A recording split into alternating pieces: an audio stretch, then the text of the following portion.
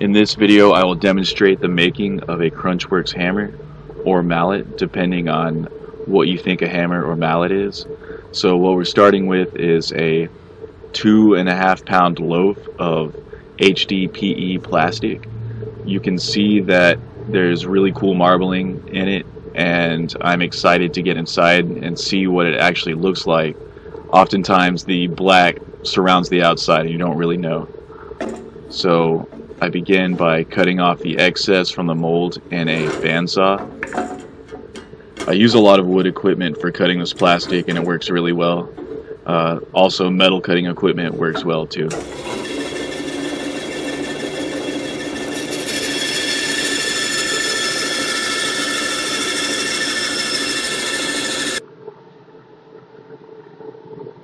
So at this point I would want to comment that I'm having trouble getting the time lapse sound to work correctly. Um, I tried and it sounded like crap. Okay, here you can see the marbling uh, is becoming evident.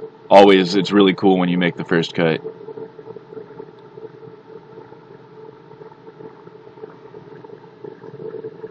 I am roughing out a approximate square shape or a square prism shape to this loaf the closer I can get to square, the better when I put it on the lathe. Here's more examples of what it winds up looking like once you cut off the outside layer.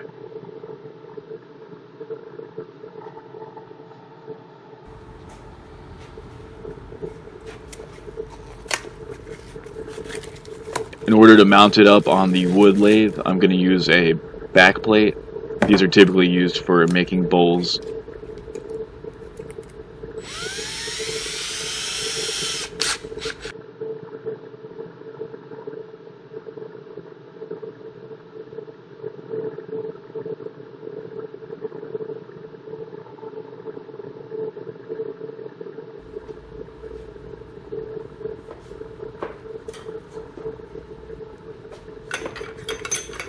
Okay, that lathe back plate fits on the same threaded fitting as this three jaw chuck, so I have to remove it first.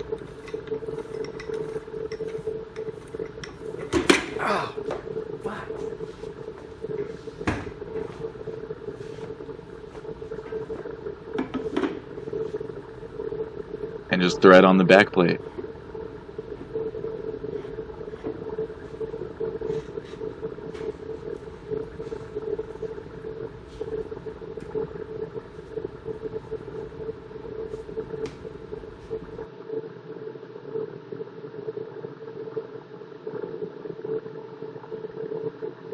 So to begin with, I am using a gouge to rough out a more cylindrical shape.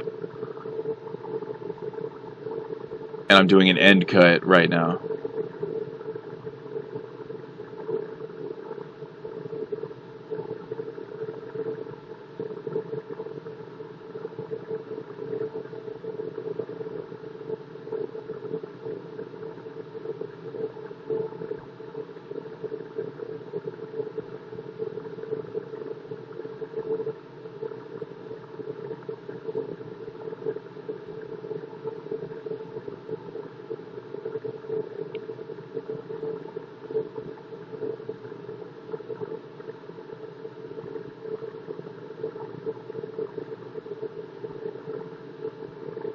So what I'm doing here is looking to get a perfectly cylindrical end so that I can take it off of the backplate and mount it in the three jaw chuck.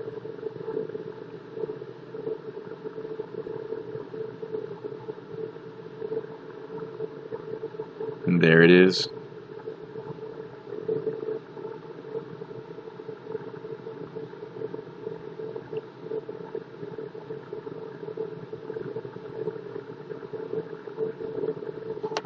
And now I'm doing more roughing to get all the edges off of the entire block and hopefully end up with something that's at least round, if not per perfect.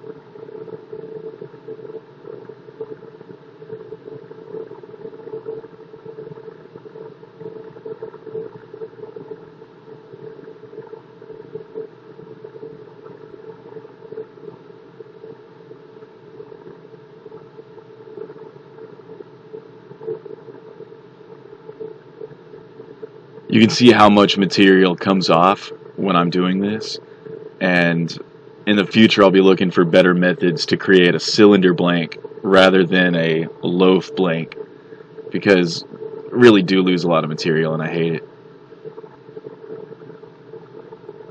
Alright, so since I took the blank out and turned it around, I want to remount it in the lathe uh, in a really precise manner. So I'm using the uh, dial indicator to make sure that it's squared up or rounded up before I go back to work on it.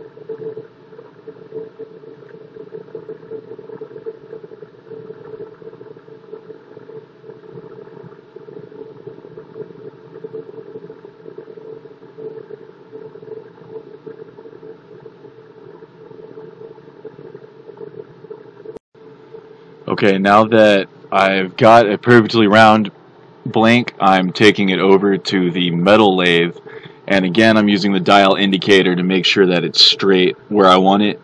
The three jaw chuck doesn't actually straighten the things out, it just approximates it. So with the indicator I can find out where the high points are and just give them a little tap and eventually get satisfied. Here I'm here I'm using a center drill to make a divot in the end of the blank so I can attach the live center. I'm using a parting tool to clean up the edge at the end. Alright, now I'm just using my hand to feel about where I think the handle and the head should be, and I'm separating that difference again with the parting tool.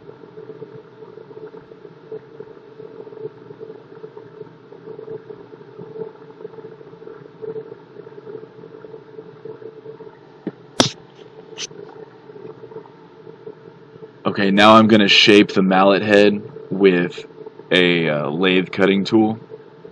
And later I realized I could use the auto feed for this instead of manually cranking it. And it really does result in a better finish to use the auto feed. Maybe I'll demonstrate that on a later video.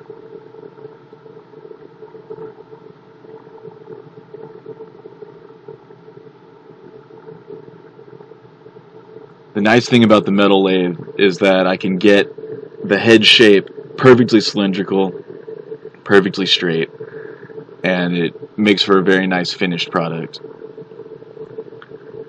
So for the last cut over here, I'm going to use that same tool to make a facing cut on the end of the cylinder.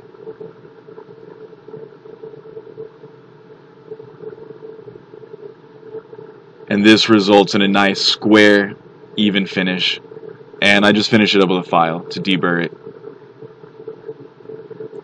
Okay so we're back on the wood lathe and now I'm gonna shape out the handle. I'm using a variety of tools here just depending on what shape I want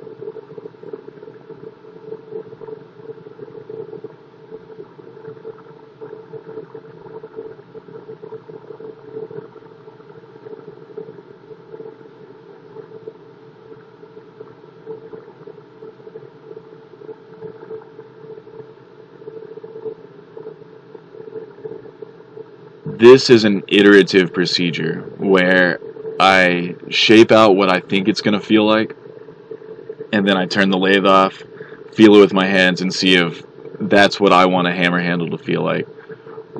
Right now, the end is too bulbous, and it's very uncomfortable to hold.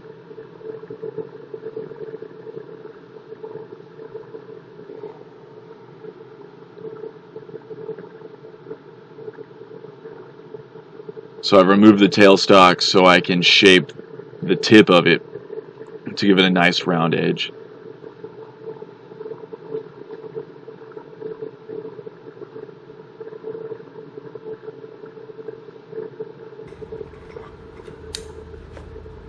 Alright, now that feels good.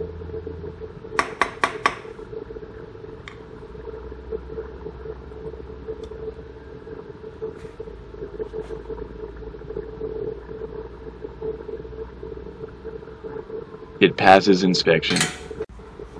Okay, as is typical with machine work, I finish up a really nice job by stamping in poorly aligned letters.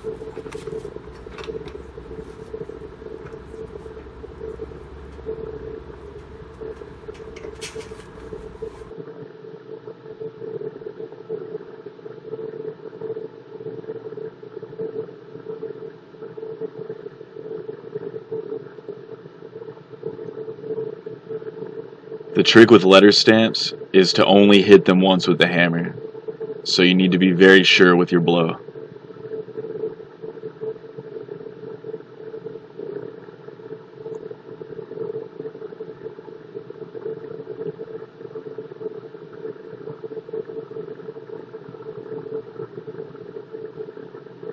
There it is, Crunchworks.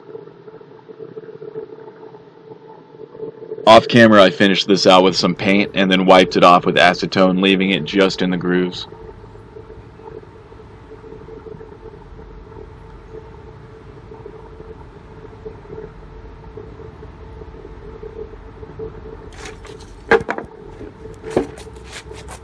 Wow, it is quite the pounder.